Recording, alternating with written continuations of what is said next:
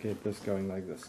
So, my first question What are some of your earliest memories of when the invasion happened, of things that changed for you? Um, Now, maybe we should first say you lived very close to the German border, is that right? Five minutes. Five minutes from the German border. And close to which cities?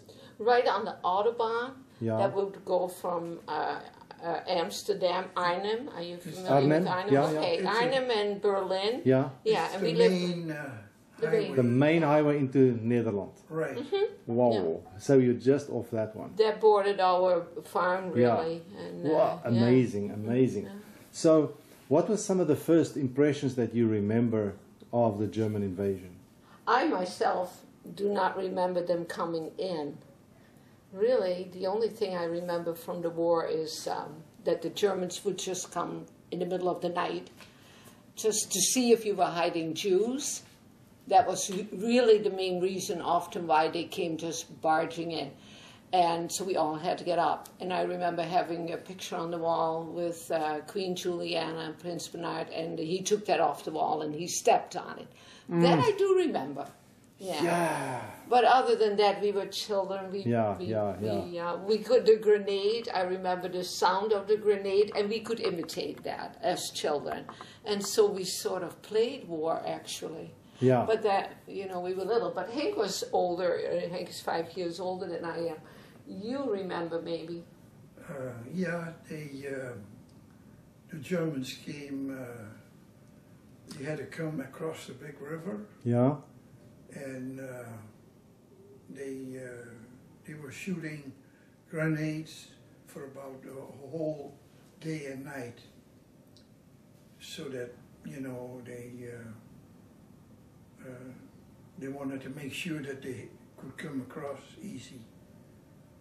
So, was there resistance and, and fighting back Well, as yeah, the Dutch army was there. Yeah.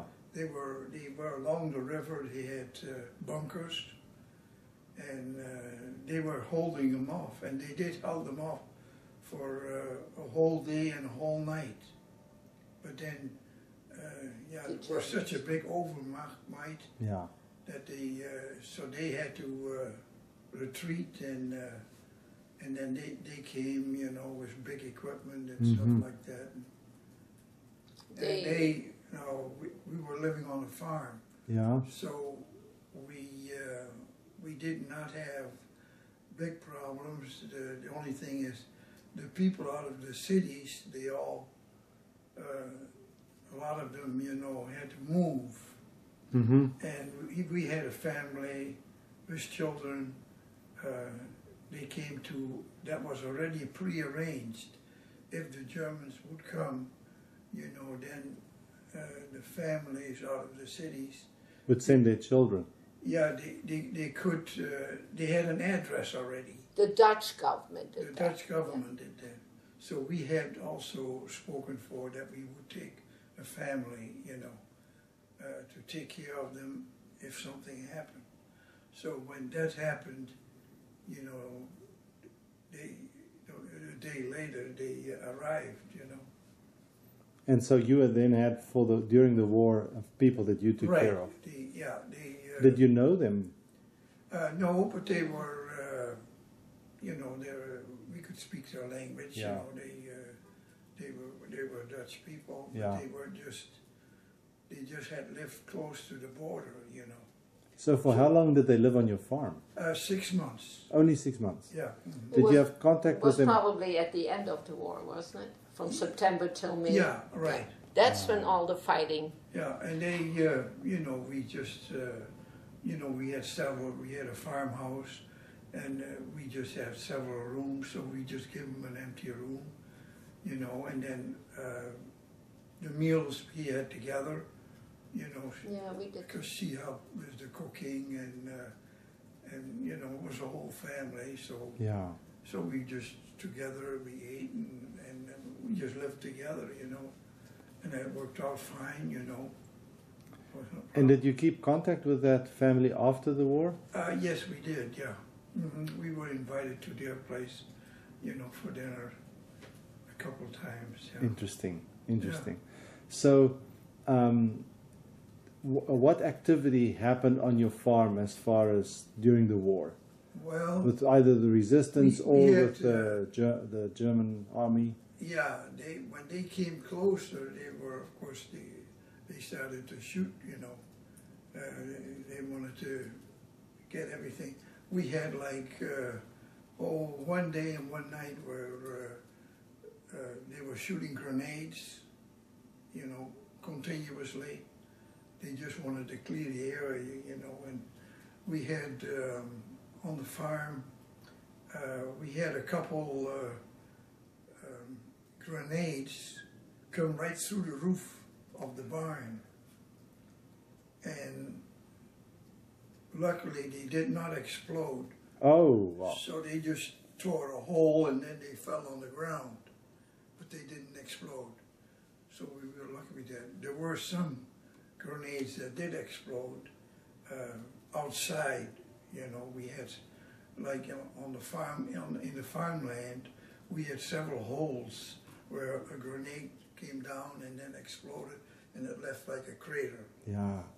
So, what did you do with the unexploded grenades? Uh, well, real carefully, you know, we picked them up. Oh, Well, you know, they, they were they had already fallen in the dirt, and uh, you know we uh, like Didn't people come, experts come and yeah, uh, clean experts them came up? and, and, and picked them up, but I think so too. But that was that was you know months later, and it, you know we had a farm, so we we started to plow the fields. Oh, you know, and as I was plowing the field, you uh, discover another one. well, yes, we, you know, we either saw, I saw a hole where one had gone in the ground, and then I, I took a shovel and I, you know, dug around it and got it out, out of the ground. Or, and we've had a few where, uh, well, we were plowing with horses. So, you know, they're pretty steady. They, they follow a furrow, you know, if you got one furrow, they just follow it. Yeah. Well, when I knew there was a hole, there was a grenade somewhere in the ground, I just let them go and I laid on the ground while they were going. And then as soon as they were past that hole, You- uh, you know, I, I followed them again, you know. That's interesting. So it, uh, just for your own protection, if it exploded, at least, you know, I wouldn't uh, be close, you know. Yeah. So then, after the, the grenades, did the Germans come onto your property? Uh, yes. And what was the Well, Well, they would- No, they well, no, would the come. Germans, That was. on uh, our property Yeah, they our Dutch army, you know, they would come around the farms and pick up all the ammunition, ammunition that was uh, laying there, you know, that was, That was after the war. right, that was after the war. But they during the war, they if they needed room, they would just come to your farm and say, "We want that room and that room and this whole area," and then we had to do that. We had to empty those rooms. We have to give them the space that they required. You had to do that. You- You, you didn't know, talk back to the Germans. Yeah. You just didn't. And they, um, Because if you, if you were saying, no, you can't have that room, you've been, They- Then they would say, oh, we'll take the whole house. yeah, then we'll take the whole house. yeah. You know. said you had- So you just have to, yeah, give in, you know, and, you know, give them a room and, and don't say anything. And But we found out that, I mean, in, in our case, most of those people, those Germans that came, you know, where people, especially the people out of the country and the people that had families. They, you know, they, they were really nice. They, you know, they, uh, They didn't want to fight. no, they didn't. Yeah. They want to go home. And they didn't ruin anything. Yeah. In fact, they, they told us even, you know, uh, hide as many things as possible because some of the army uh, groups, th- those were, uh, um, The SSers. yeah, the ones that volunteered, you know, and they did steal a lot, and, and they would take o- over the whole house and have you sleep in the barn. Hmm. So, so you had to kind of use uh, discretion, you know. Did, so, do you remember some of the times when the Germans were then on the farm? Yes, oh yes. And what was yeah, what was the situation like with the Germans on the farm? Oh, the, the regular German army Yeah, they, was they, no they were, problem. they In fact, they did, you know, they, uh, of course, they, you know, they, uh, they, well, they slept in the barn. But they did ask, you know, they were, those were family people. They asked if they, if we had dinner, if they could sit with, with them, yeah, with us. Just so they could see the children, because we were all children. That would give them a feeling of being home as a Yeah, family. yeah. So most of those people, uh, they were no problem. All they wanted to do was get the war over and go home. Interesting. So you you experienced that bit of humanity that some of those people Right. had, and and The and you could- majority, yeah. I mean, we had a few uh, uh, that were volunteers, you know, and they, um, kind of like the Marines here. Like yeah, the- like I had uh, uh, rabbits, you know, I, hmm and what they did is they opened the cage and let the rabbits run out, and then with the gun they would shoot them. You know. But that were the ones. Yeah, uh, that, those those were the volunteers. Yeah. know, out of their army. You know. And um, did did you at all interact with the resistance? Uh, well, there's there's not much. You know, we uh, visited with the Dutch army. Yeah. know. The underground? Yeah. Yeah, we would Oh. help them. You know, with everything. Our parents would do that. Yes. Yeah.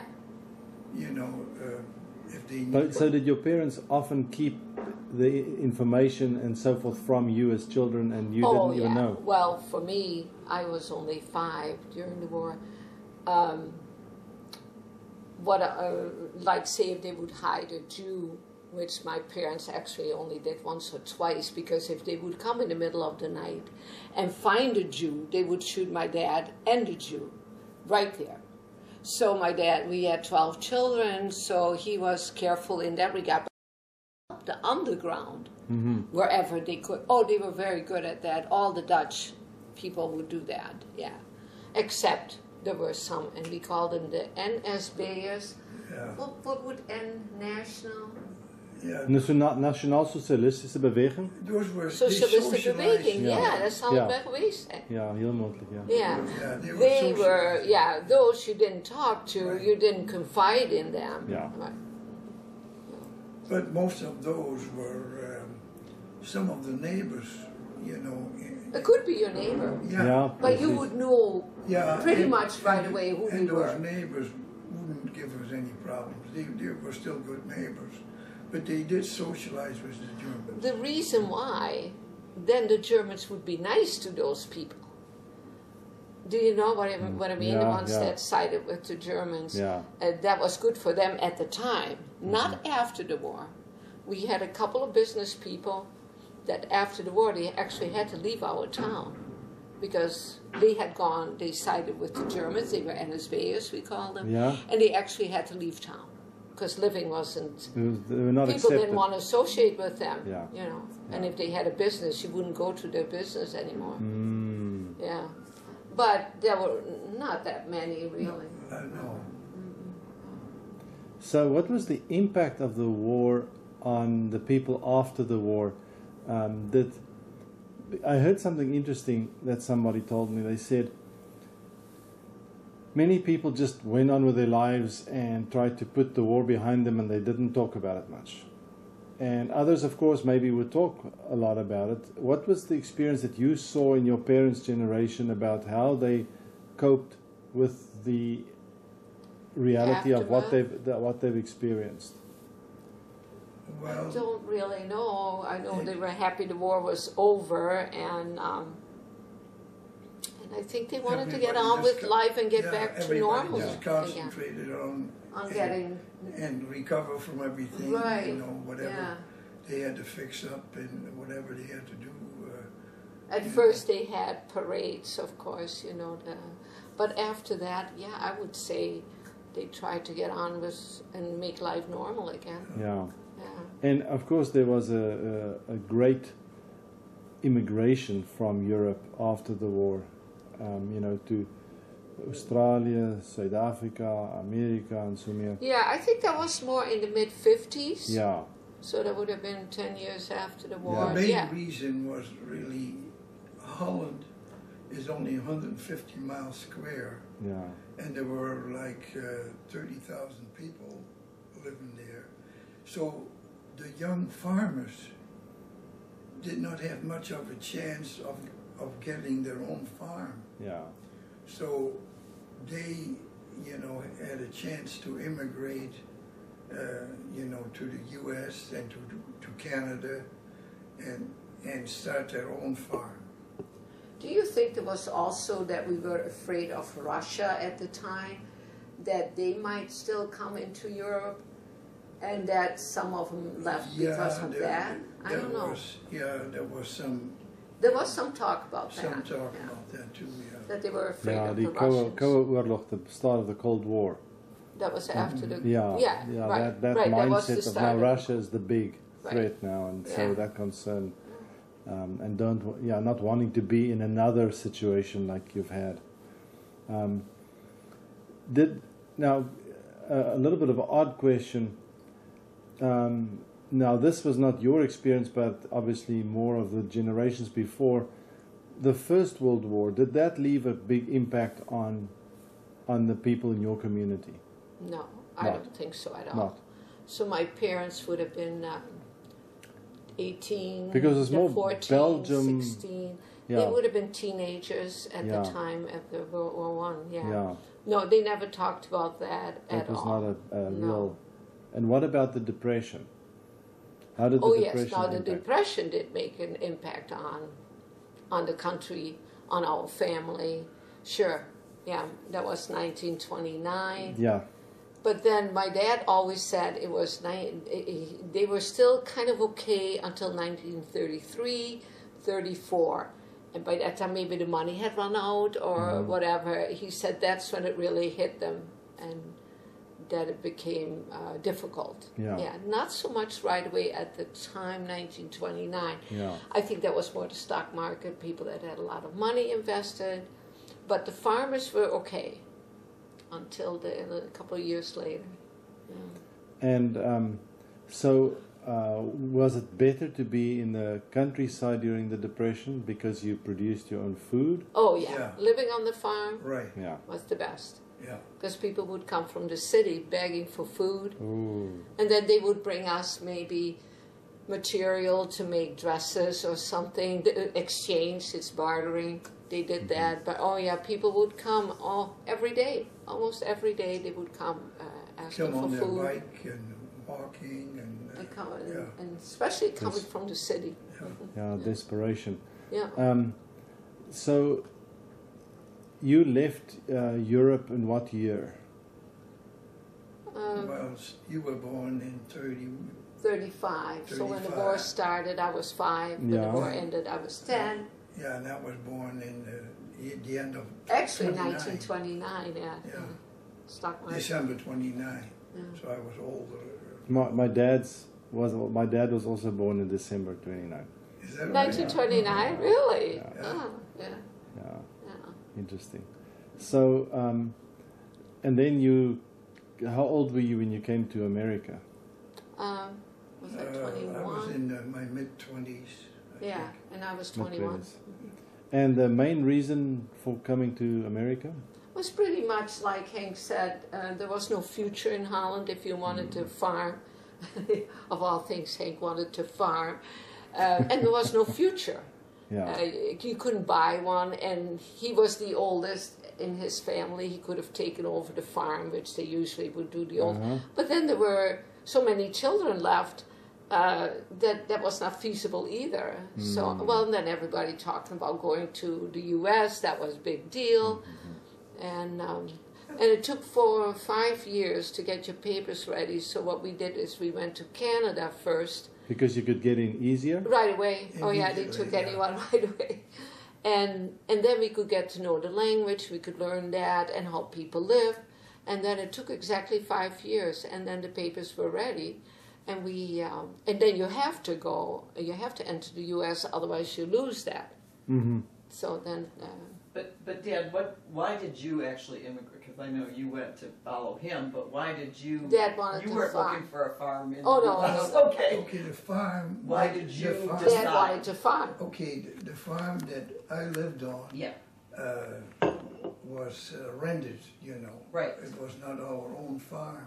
because that was And- lost during the and- Depression, correct? Yes, and we. Yeah, that's actually an interesting And story. we had a, a, a difficult uh, owner of it, you know.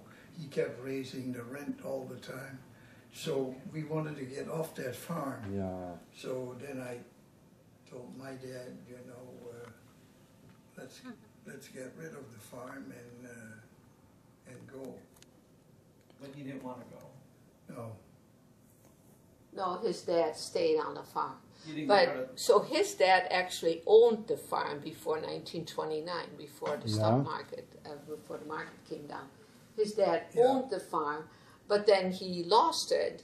because uh, couldn't make the the- products weren't worth anything. The cattle, Yeah. you know, and couldn't pay the mortgage. couldn't pay the mortgage, so I had to sell it. So he could stay on the farm, and then one of these rich people bought the uh, bought him out, you know. So his father could ju- everything went on just the way it was. Only now he was renting the farm instead of owning it, and that was hard for his dad, I think. Yeah. Yeah.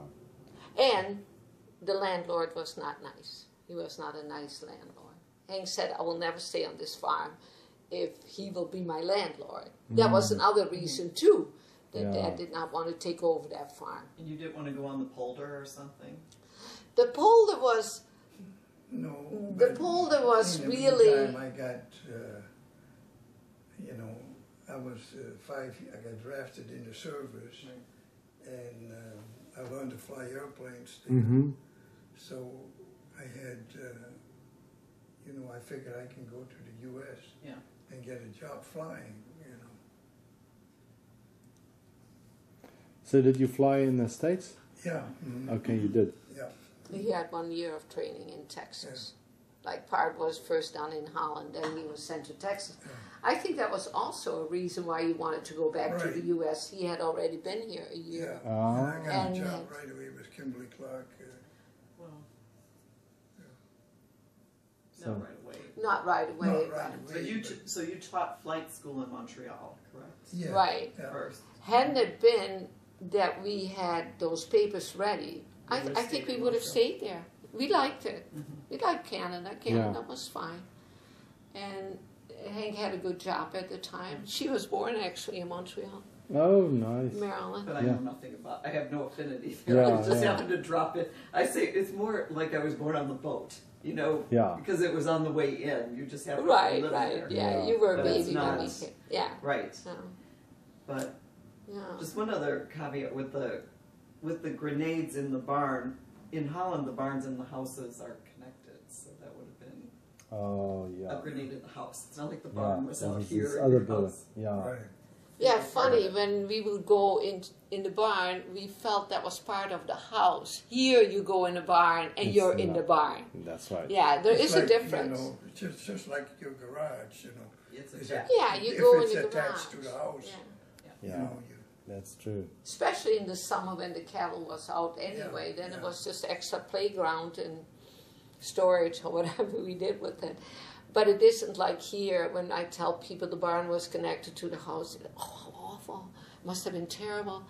It wasn't that way at all. Mm-hmm. No, that was just fine.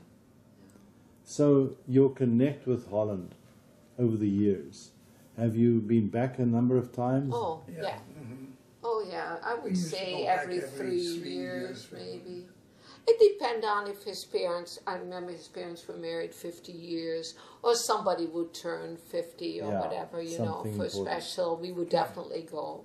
Yes, Well, because his whole I family always- was still there, and you had two sisters. still Yeah.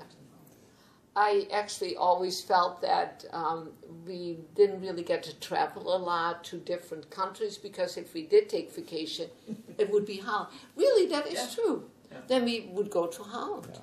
So kept us from really, um, yeah, Seeing the world. really, You know, yeah. the broader thing. So um, as you went back with your family, now you became more Americanized in some ways, and, and, and especially your children and so forth. You became this Dutch American family, and here you're visiting with your real Dutch, Dutch family. people. How did that difference play out? Oh, That was no problem really. You, we could easily be back in Holland and, and uh, you know, and get used to it, you know. Well, I, I I never felt I wanted to be back in Holland and live. It was fun to visit, but I, I always, You I think at the home. weather alone was a big factor.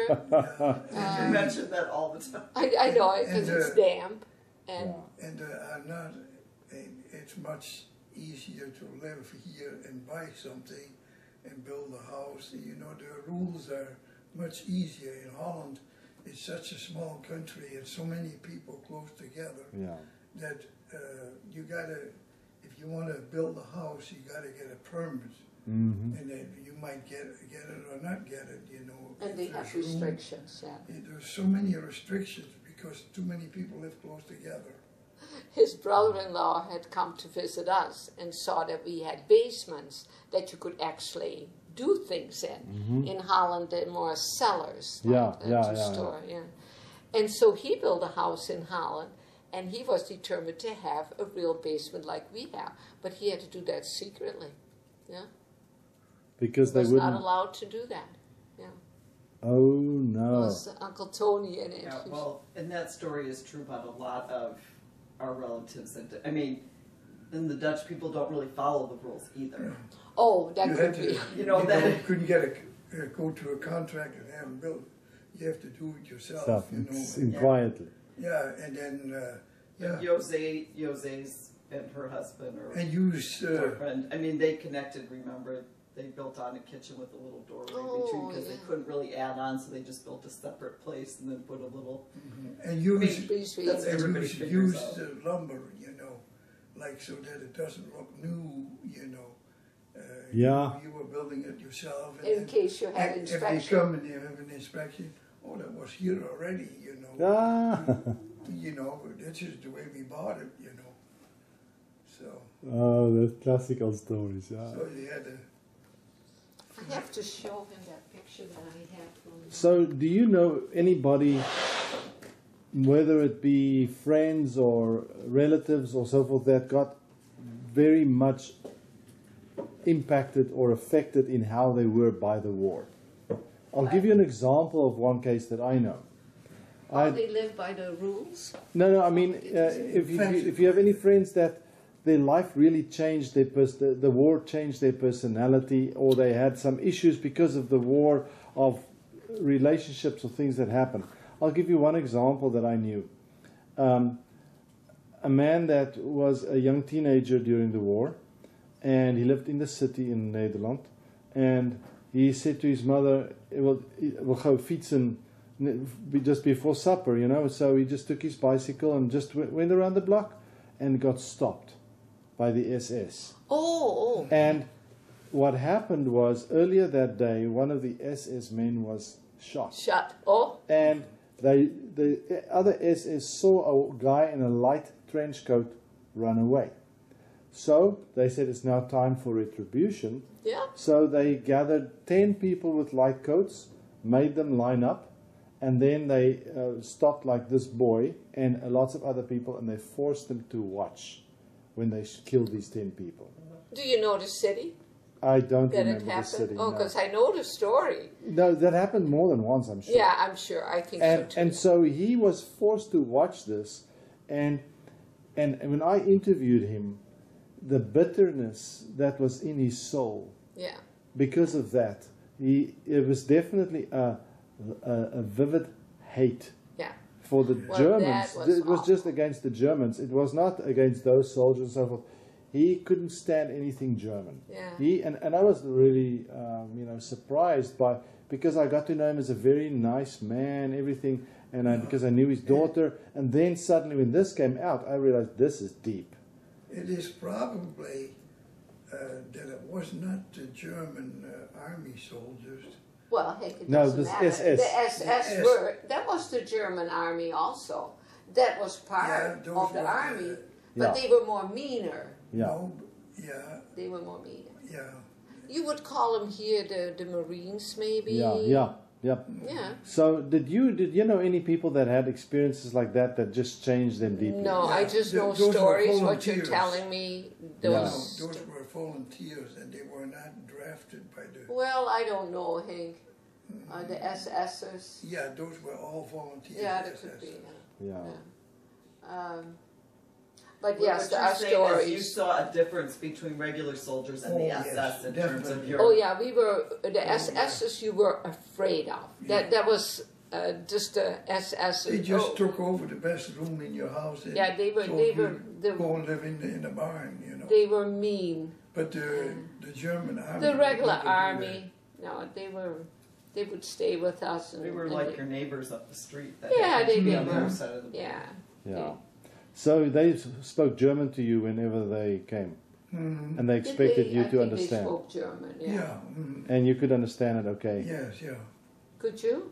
Well, Hmm. most of it, yeah. Yeah. I don't know. well, people always say it's like Dutch, but it isn't. Mm. We were in Germany the last time you had surgery, and I thought, no, this is wonderful. It was in a hospital that belonged to East Germany before, so now it's all one. And I thought, oh, that will be so interesting talking to these people. What was it like as being in East Germany, and then you become one? Mm-hmm. And I couldn't. It was just I could say Guten Morgen, and that was about it. Well, no, the interesting part of that is that they, even the young people could not speak English. Yeah. In the former East, and this is how many Yeah. years after you Well, and the- that was not good. They could speak Russian and German, but I, my feeling is almost anywhere in the world I go, I find some college students or Yeah. young people can all speak English. Yeah. The fact that they couldn't is not good in terms of Mm-hmm. economic Yeah. you know, in development of the country. I They- thought that was really telling. Or I had the same experience in Russia. Um, anywhere else I traveled in Europe, um, young people could speak English, or sometimes very well dressed people Oh could speak yeah, English. but, But in Russia, well dressed, young, doesn't matter, they don't speak English. No, It's they- not there. oh well, yeah. no, Russia would Yeah, probably would. yeah they, uh, it's still very rare, you know, to have English. Whereas the rest of Europe, what book is that? oh, you know that stone Yeah, that yeah. came out of our farm? Is this from Uncle Henry? No, the stone. Diana just took a Yeah, yeah, picture of yeah. it, so you could read all the names of the people. We had uh, twenty people staying with us during the war. The, That Oh. last part of the war. Oh, here it is. And um, after the war, this one man he he had it made. It was a stone that it was about this big. Yeah. We call it a stone. Yeah, this is Yeah. Was that like a relief. yeah, Just- Yeah. yeah. And so these, and then he had all the names, and they were. It was like a Let relief. A Yeah, relief, it? yeah. yeah, It was yeah. carved Let into the do. stone. Yeah. And all those people stayed with us from September till May, or pretty much, yeah. From Sep- And then they gave that as the- a and, and that stone was given as a to thank us, you. to my parents. Oh. And it says in Dutch, you uh, gave a rough, um, you, you, um, jij hebt Um, mij geherbergd. You took us U hebt mij geherbergd Yeah, you took us 5 in. mei 1945.